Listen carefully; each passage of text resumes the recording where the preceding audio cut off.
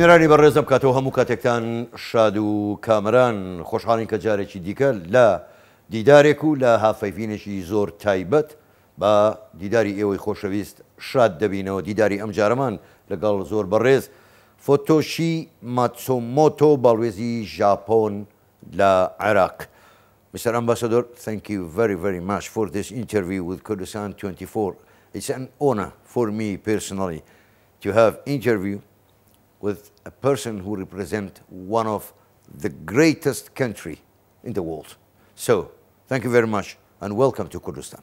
Spas, uh, Kak Farhad. Uh, I'm so happy to see you. Thank you. Particularly, you. know, very experienced, you know, uh, presenter like you, and you, you. look so young, like 25 years old today. You're nearly 27. really? uh, am I pronounced your name correctly? Very correct. Okay. I just make fun of my name always, you know, like uh, Futoshi Fatush. Okay. Salada Yabaniye. Japanese salad. Yeah, thank you. Thank you very much. Mr. Ambassador, let me uh, start with a very common question.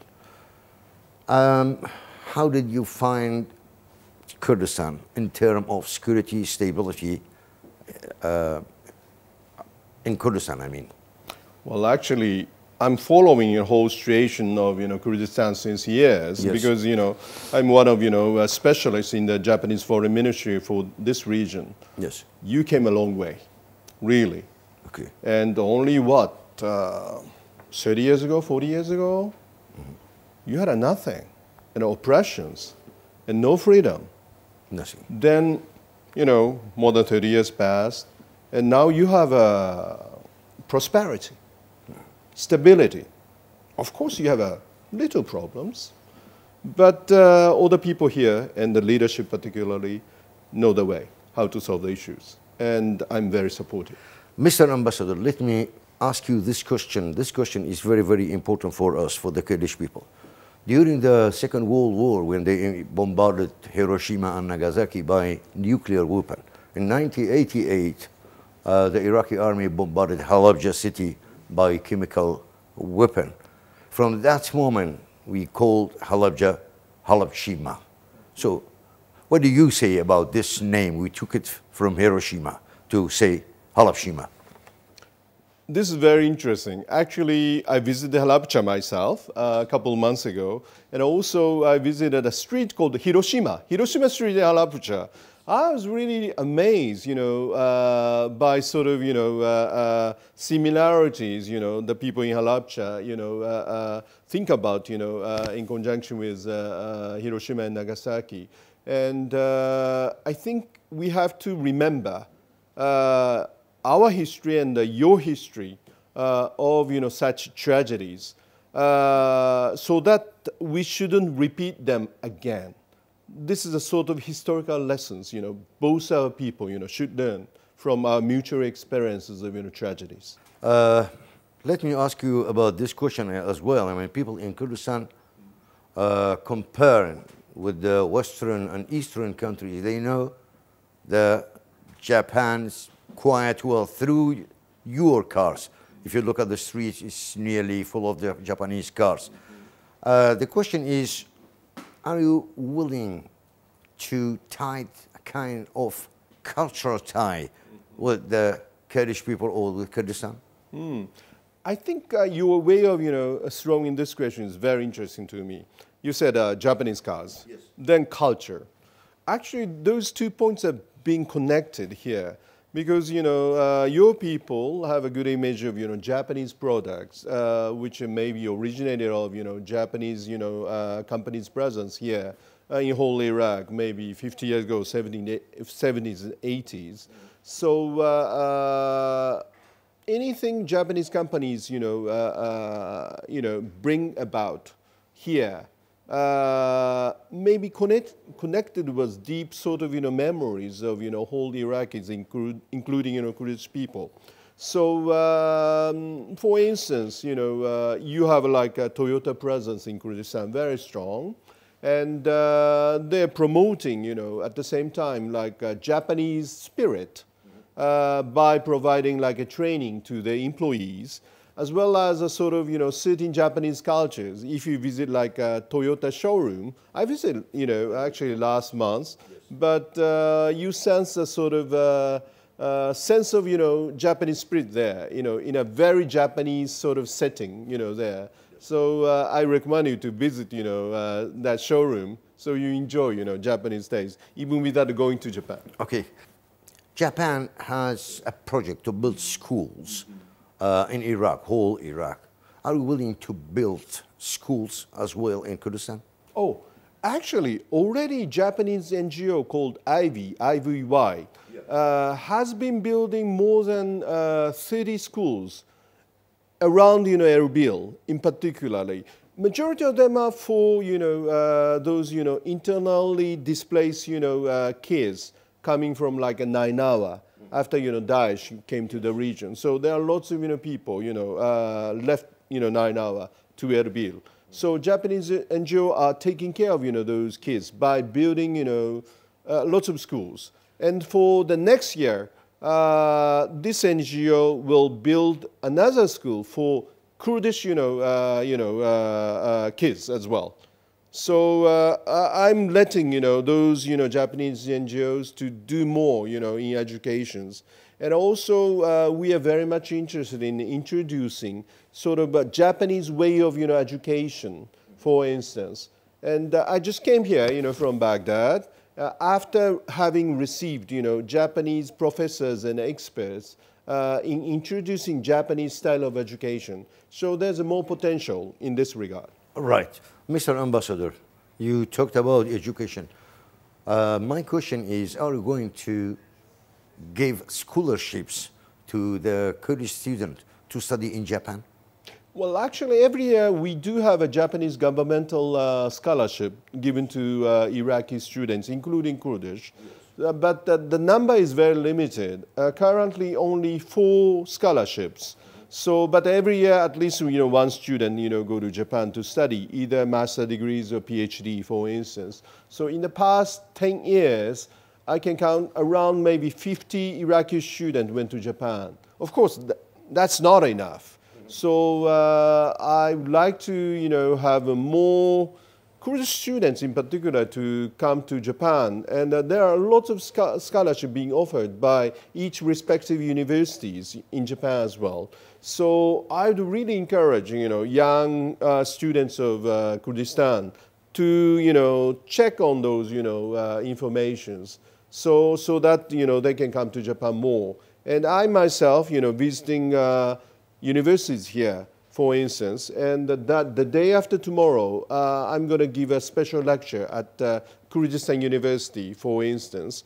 So I try my best as well to introduce, you know, uh, uh, Japanese universities to uh, Kurdish students here. Right, Mr. Ambassador. Japan invested money in too many other countries around the world.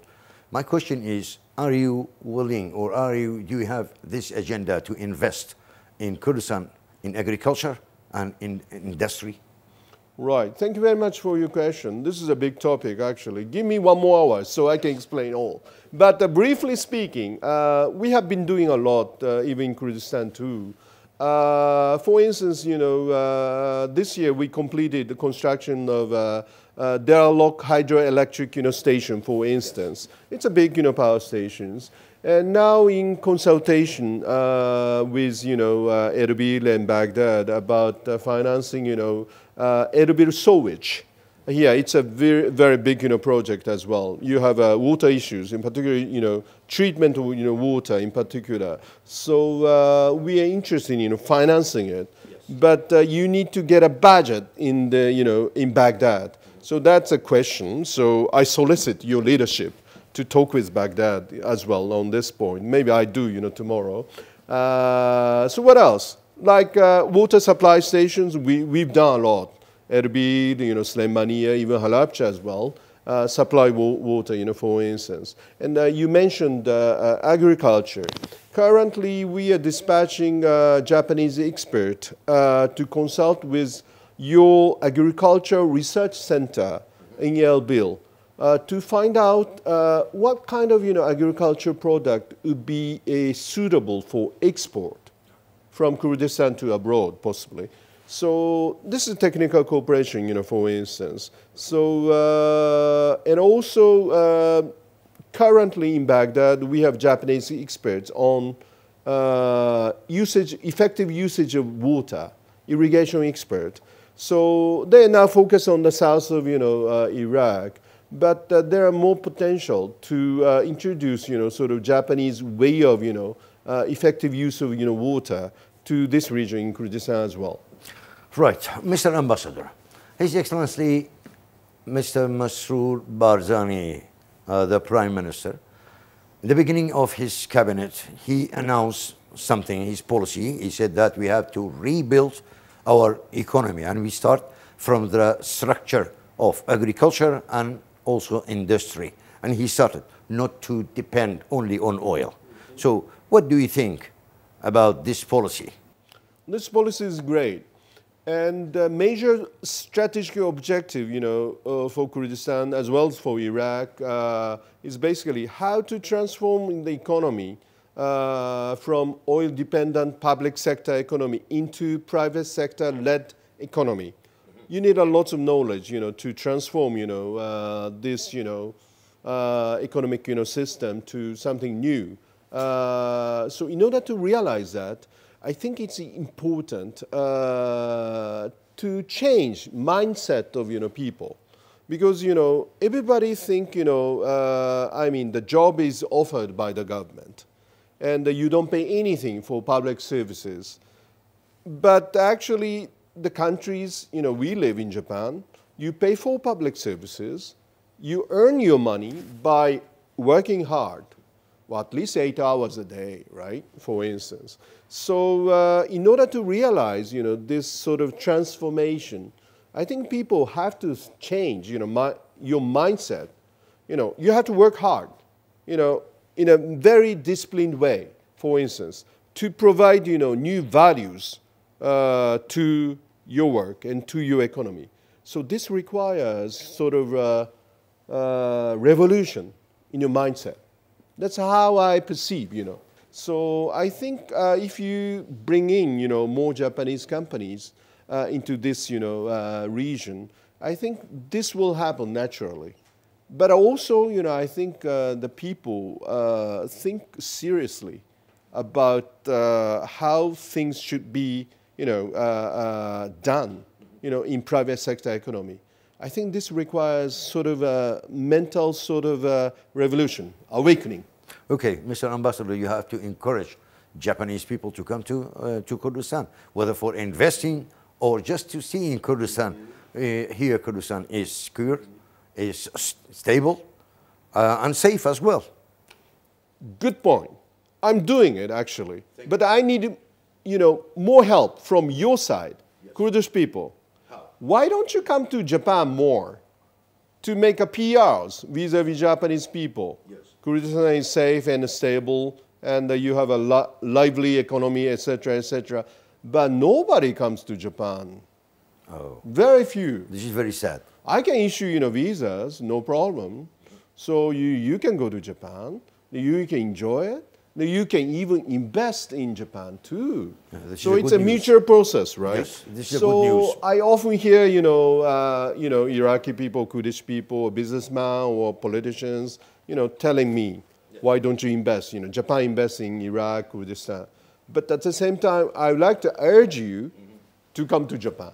Right. While we are doing this interview, Mr. Ambassador, there's a huge conflict in Middle East. So what do you think, or how do you encourage the both sides to stop this influx and this bombarding and killing? More than 14,000 people being dead. Right. So, what are you willing to tell the both sides to stop this conflict? Well, on this question, uh, first of all, I should, uh, you know, share my sentiment uh, more than anything. My heart aches. Right. Just like all other people. Yes. Mm. Well, I tell you why. Sorry. You know, my first diplomatic works yes. is related with Gaza in 1990s. So I started, you know, my professional works, um, you know, uh, 1992 in Cairo. More than half of my, you know, works at the time was related with Middle East peace process. Japan also uh, participated in, uh, you know, particularly multilateral Middle East peace process together with other, you know, uh, uh donors and uh, international, you know, uh, society. And so I myself was, you know, there in Gaza, particularly in the late, you know, 1990s, to support reconstruction of Gaza and West Bank uh, through you know providing Japanese you know assistance. So I have uh, you know pictures, me and uh, President Arafat of uh, you know Palestinian Authority yes. together in the middle of Gaza. So there was hope at that time, yes. 30 years ago. It's lost. It's got lost. Now nobody would call it Middle East peace process. Nobody, because it's dead. Why? Because of number of reasons. And uh, both societies, you know, Palestinian society and the Israeli society, become so much, you know, uh, radicalized. And there's no sense of, you know, uh, how do I say, you know, reconciliation or, you know, uh, common aim to make a peace. Um, so it's very difficult to say in just one word what we should do. But uh, it's a time of you know emotions, very high on both sides in the whole you know international society. But uh, we should uh, you know return to you know the sense of reasons in order to attain a peace. So both sides need to think what is the best? Together with, you know, support of international society. Right. Uh, Mr. Ambassador, uh, you talked about the peace in Middle East. This peace is very important as well for the Kurdish people. As you know, it's more than 40 million people without a state, without self-determination. In your opinion, what's the best solution for Kurdish problem as well? Because we don't have just Palestinian and mm -hmm. Israeli problem. We have this Kurdish problem. So, right. in your opinion, what's the best right. solution right. for the Kurdish case? Of course, you know, uh, two questions so different. You know, in case of you know Palestinian cases, you know, of course we support two-state solutions. But in case of you know uh, the case of you know uh, Kurdistan, of course, uh, federalism federalism is you know only solutions. And I understand you know uh, uh, your region, you know have a priority for stronger decentralizations uh, in whole Iraq. Uh, so this issue should be discussed and to be consulted uh, between you know Baghdad and Erbil in a very peaceful peaceful way with uh, uh, patience. And also, I should add, you know, uh, to this you know political process, I think people's, you know, uh, exchange are quite important. Uh, I mean, for instance, if you take up the question of, you know, language itself, I understand now, you know, younger, you know, Kurdish people maybe do not speak good Arabic like your generation. Yes. And uh, maybe Arab people, majority of them, don't speak any Kurdish. And this is not too good even for considering, you know, I mean, sound functioning federalism. Federalism needs deep understanding uh, between, you know, two regions or more, you know. This is a sort of multi-ethnic, you know, multi-religious, you know, uh, country. So uh, you need a lot of efforts to keep and sustain federalism from both sides, uh, not only at the political level, but also at the economic level, also at the cultural level, at the academic level. So you need a huge sort of, uh, you know, uh, strong proactive, you know, uh, mechanism to protect, you know, this principle of, you know, federalism. But uh, I think it's not enough yet. So I'd really encourage, you know, more proactive, peaceful efforts uh, to keep and sustain, you know, this process uh, from both sides. Otherwise, it's going to be very difficult. Right. Mr. Ambassador, in October, you told Kurdistan 24 that you have built a school in Shingal for the Shingal people, but unfortunately been occupied by PKK. So, my question is, is it still under the occupation of PKK? And um, do you support the implementation of Sinjar or Shangal um, agreement between KRG and Iraqi government? Yes, uh, this agreement was signed by you know whole you know uh, parties. So uh, we are very supportive you know for the implementation of this agreement, but it has been taking time. Um, and uh, regarding the Japanese school, uh, Japanese NGO, same NGO, Ivy, yes. built more than one year ago, uh, still continue to be occupied by the elements. Yes. They call it Yabasha themselves and uh, part of PKK, you know, I presume.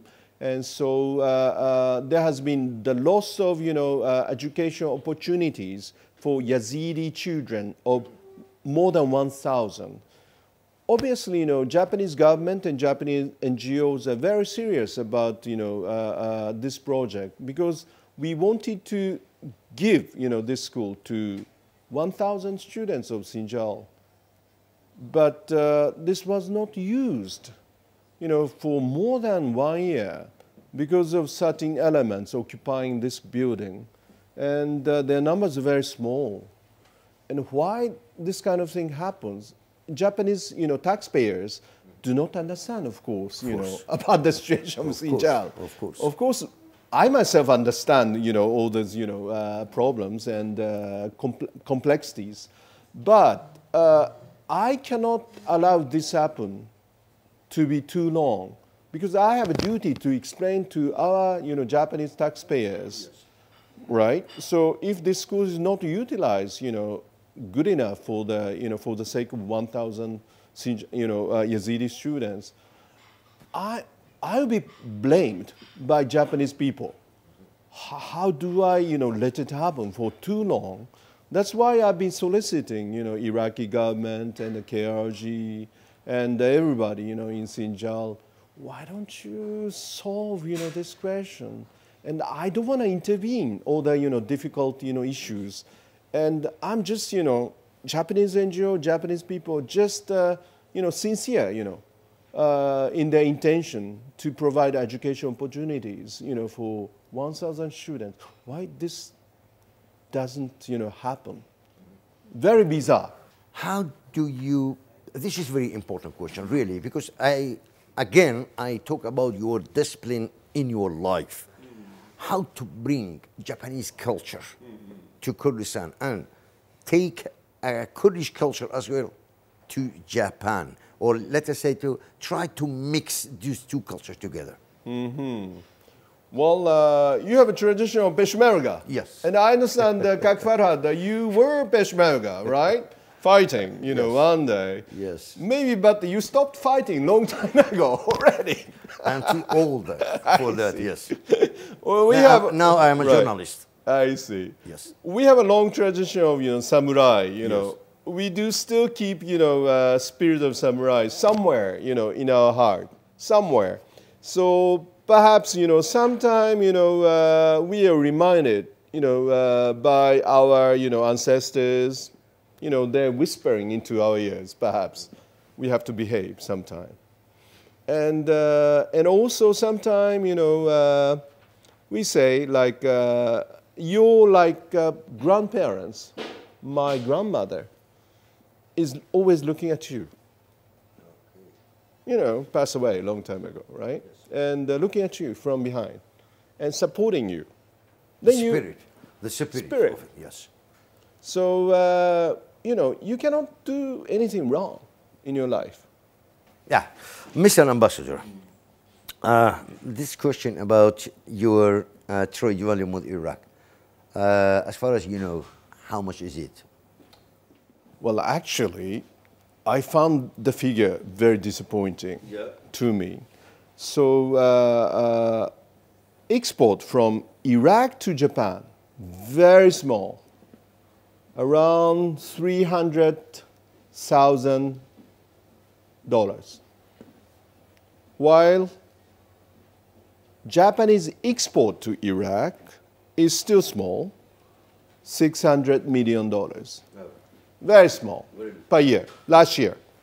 And, uh, you know, uh, we don't import oil from Iraq. This is amazing. Maybe you didn't know. No, we didn't Last know. year, zero. Of course, Japanese oil companies have a stakes, you know, in south of Iraq. You know, uh, two of them, they receive, you know, oil from Iraq, but they sell them to other countries Oh, right. third country. Okay. They don't get it into Japan. So uh, your country doesn't produce too much, you know, export, export things, you know, products. So very small.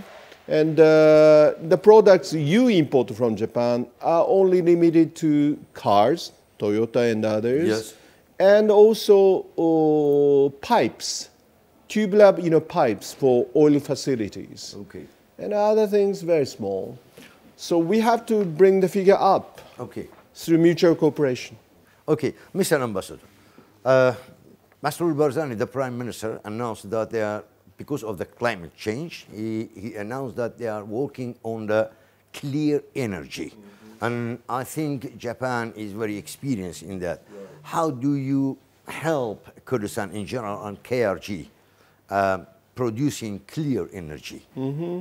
Uh, we are already talking about a certain project uh, uh, between JICA and uh, uh, your Ministry of you know electricity regarding like uh, photovoltaic uh, use, uh, for instance, for producing clean energies. So that's one you know uh, project, and also uh, we should think about more you know stronger cooperation on you know.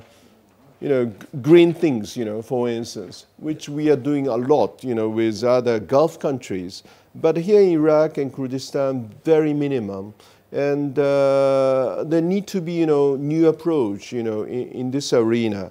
Uh, otherwise, you know, uh, there'll be little bit delays in thinking, for instance. So uh, we are ready to do whatever, you know, as long as, you know, your, you know, uh, uh, government would come to us.